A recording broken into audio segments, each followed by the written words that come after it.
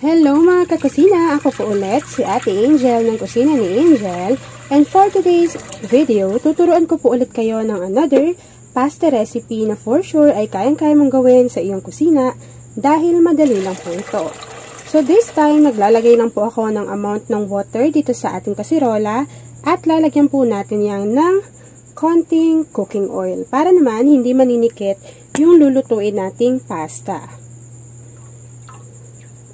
And yes, ang gamit natin dito ay ang Healthy Chef na 100% canola oil.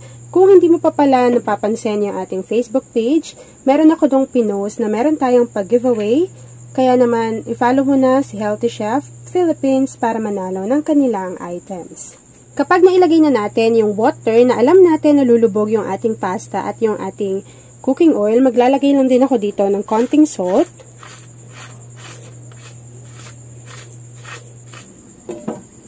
Yan. So, pakukuluin ko lang muna yung water na yan, mga kakusina. And then, after po nun, ipapakita ko pa yung next procedure.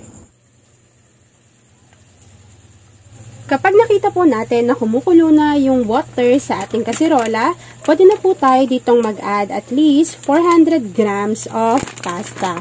So, yung ginamit ko po dito ay penny pasta, pero kayo po, pwedeng pwede kayong gumamit ng kahit anong klase ng pasta. Kapag nailagay na po natin yung ating pasta, lulutuin lang po natin to continuously stirring hanggang sa makita po natin na maging al dente na po ito. So, habang hinihintay natin yung maluto, please don't forget to like and follow yung ating Facebook page na Kusina ni Angel at kung meron din kayong Instagram, pakifollow na rin po ako doon, Kusina ni Angel. Kung gusto nyo matuto pa ng iba pang mga recipes o kaya naman gusto nyo ring mag-share ng mga niluluto ninyo everyday, pwedeng pwede kayong sumali sa ating Facebook group. Andyan lang yan sa ating Facebook page. Mga kakusina, habang niluluto nyo po yung inyong pasta, siguraduhin nyo lang na hinahalo-halo nyo po ito para naman hindi ma-overcook yung ating pasta.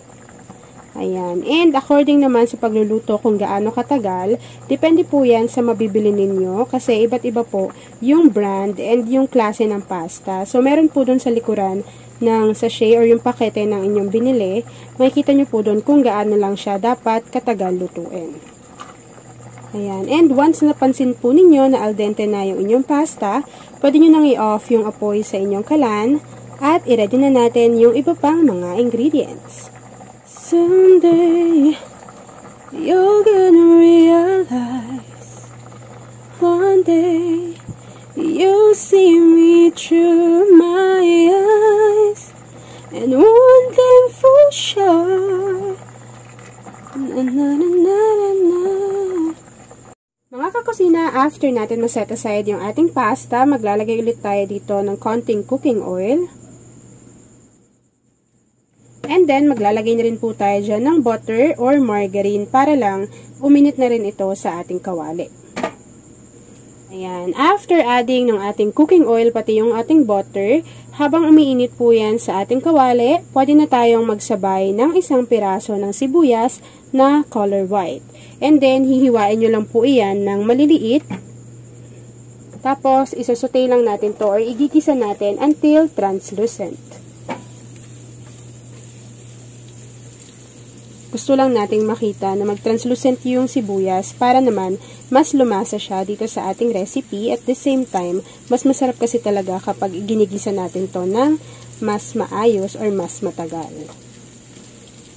Kapag nakita po natin na nag-translucent na yung ating sibuyas, pwede na rin po tayo mag-add dito at least 3 to 4 cloves of garlic. So, hiwain nyo lang din ng mas maliliit. Tapos, syempre, isasama natin siya dito sa ating kawali para mas magisa rin to. At hihintayin lang po natin na lumabas yung aroma ng ating garlic. Yan, not necessarily kailangan maging golden brown ng ating garlic, pero nasa sa inyo pa rin po yun kung gusto ninyo na mag light brown or golden brown yung inyong garlic. Yan. Kapag nagisa na po natin ng maigi itong ating sibuyas at bawang, pwede na po tayo ditong mag-add at least 2 tablespoon of all-purpose flour. Ayan. Tapos po, lulutuin lang natin yung ating harina over medium to low heat para naman hindi siya masunog dito sa ating pan. And then, continuous po natin tong hahaluin. Ayan, and mapapansin nyo po na madedissolve yung ating all-purpose flour. And make sure na mahina lang po yung apoy ninyo kapag nailagay na natin yung ating flour para po hindi nga siya masunog at ilalagay na rin po natin dito yung ating evaporated milk. Kapag maglalagay po tayo ng evaporated milk, siguraduhin po natin na unti-unti lang natin tong ilalagay at hahaluin po natin to kasi, kapag nilagay na natin yung evaporated milk, mapapansin nyo po na kumakapal yung consistency nung ating niluluto. Ayan, kasi unti-unting nagpo-form na yung ating flour na inilagay. Kapag nahalo na po natin to ng maigi at napansin niyo na ganyan na yung consistency ng ating niluluto, pwede nyo pa pong i-add yung ating evaporated milk. Ayan. Ilalagay ko na po ito lahat. So, in total, gumamit po tayo ng 1 can or 410 ml na evaporated milk para dito sa ating recipe for today. Ayan. And then, imimix lang po natin to ng maigi hanggang sa makuha natin yung tamang consistency na hinahanap natin. So, gumamit po tayo dito ng all-purpose flour at evaporated milk para mas maging creamy yung kalalabasan ng ating recipe at the same time, hindi na po tayo gagamit pa ng all-purpose cream. And pwede na rin po tayo ditong mag-add ng salt and pepper to taste. Yan. So, mag-add lang po ako ng konting salt. Adjust nyo na lang po yung lasa. So, ang inaano lang natin dito ay hindi naman sobrang alat.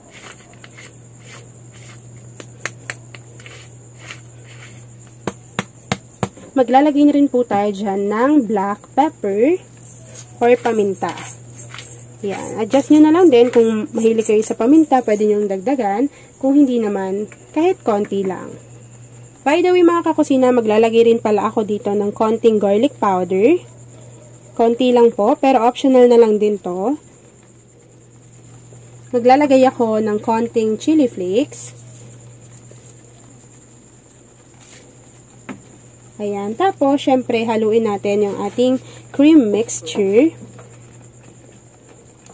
At maglalagay na rin po ako dito ng tatlong piraso na chicken hot dogs.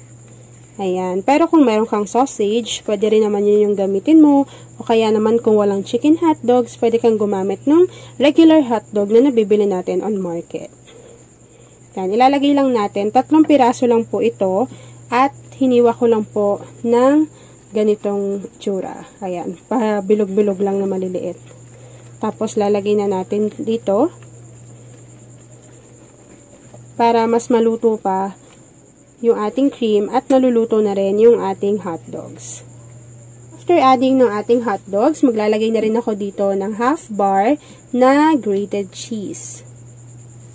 Yan. So, half bar lang po ito and hindi po ito quick melt cheese. Ito po ay yung ordinary cheese yan, so ilagay natin yan dyan. Pero kung meron kayong quick melt o kaya naman parmesan cheese or mozzarella cheese, pwede nyo po yung gamitin sa ating recipe for today. Yan, syempre, hahaluin lang na natin to.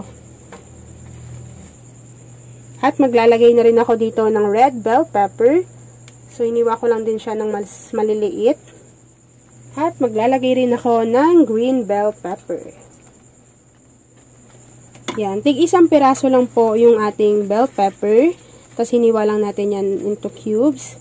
And yes, hinuli ko siya para naman medyo malutong-lutong yung ating bell pepper. Ayan. Tapos po, kapag na-mix na natin to, tekman nyo lang kung okay na sa inyo yung lasa. Pero kapag hindi pa, pwede nyo pa pong i-adjust yung salt na inilagay ninyo. Ayan. Tapos, pwede na po natin ilagay dito yung niluto natin kanina or sinet aside natin kanina na penne pasta. Ayan. So, dapat ganito yung consistency ng ating cream. Hindi siya ganun kabilis bumagsak and hindi rin naman siya ganun kakapal na consistency. Ayan. Once na na-achieve na natin yan, ilalagay na po natin dito yung ating pasta.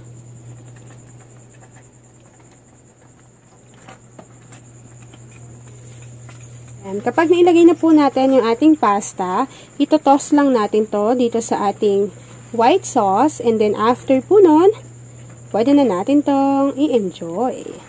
Ayan, ba diba? Sobrang dali lang nung ating pasta recipe. At ayan mga kakusina, kapag na-coat na po natin ang ating white sauce, yung ating pasta, pwede na po natin yang i-enjoy.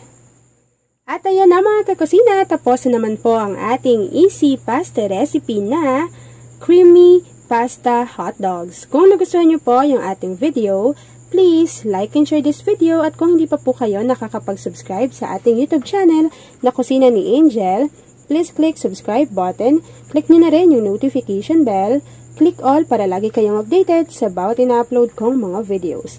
Yun lang mga kakusina, thanks for watching and enjoy this video. Mas masarap pong i-enjoy itong ating recipe habang mainit para naman damang-daman ninyo yung creaminess ng ating pasta.